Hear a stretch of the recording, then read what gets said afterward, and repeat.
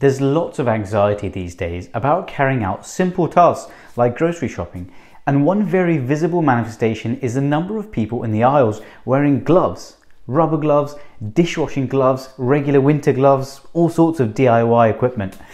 Items like gloves certainly play a very important role in a clinical setting where healthcare professionals constantly come into contact with bodily fluids and infected patients and also conduct medical procedures and examinations there is limited evidence that they're useful for members of the public. The World Health Organization has also not recommended people wear gloves to protect themselves at this point, and that people should instead prioritize good personal, respiratory, and hand hygiene in addition to staying at home and practicing social distancing. Items like gloves can actually give you a false sense of security and lead to neglecting hand hygiene. Let me give you three reasons why you don't need to be wearing gloves out and about. Gloves are like hands when it comes to spreading viruses, maybe even worse. This novel coronavirus doesn't enter your body through your hands, so you don't need any kind of barrier there. If you touch a contaminated surface with your gloves and then touch something else, you're as likely to spread it as you are if you touch things with your bare hands. Say you touch a surface, you'll pick up germs. Okay?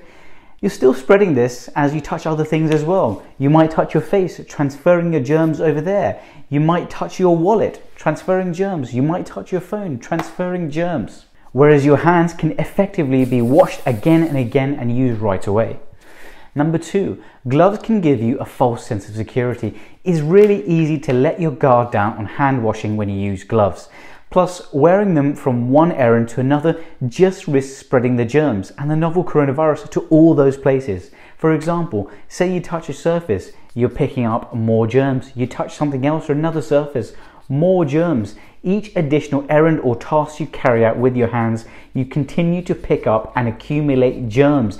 And then you risk touching your face and other surfaces, your steering wheel when you're driving home, and you're transferring this to everywhere you go.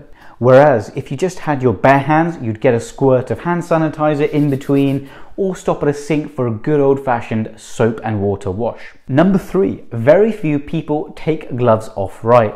And when you don't take gloves off properly, you just get everything that was all over the gloves on yourself and everything else. This is cross contamination.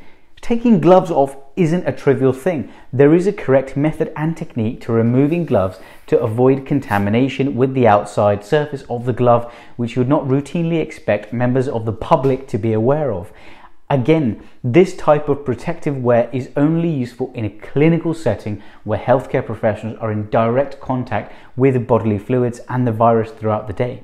And one final note if you're thinking of washing your hands with the gloves on, don't. You cannot rewash the disposable latex gloves. They are not designed to be washed or reused as they're very thin and the gloves could also rip. The gloves really won't make much difference other than making you feel that you're slightly more prepared. Remember, wash your hands, be safe, be sensible.